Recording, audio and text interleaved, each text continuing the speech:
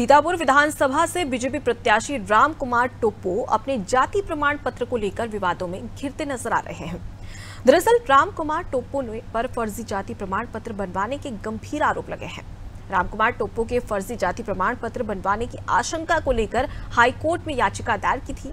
ये याचिका लखनपुर ब्लॉक के ग्राम ढोडा केसरा निवासी बहारी लाल तिर्की की ओर से दायर की गई थी।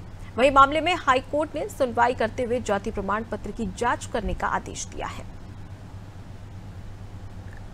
मैं बिहारी लाल तिर्की, सरगुजा से। हमने एक याचिका हाईकोर्ट में दायर किया था, जिसकी आज सुनवाई हुई।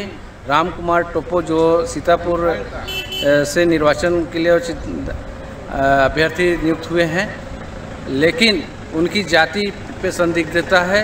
जाति जाति का जाँच हो, होना है, जिसका माननीय न्यायालय हाईकोर्ट ने आदेश कर दिया है रायगढ़ कलेक्टर महोदय जी को।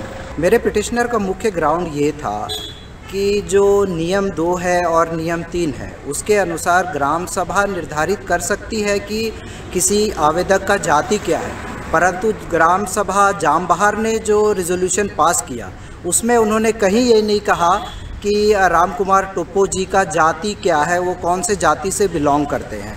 ग्राम सभा ने सिर्फ़ ये कहा है कि वह उनको जाति प्रमाण पत्र दिया जाए।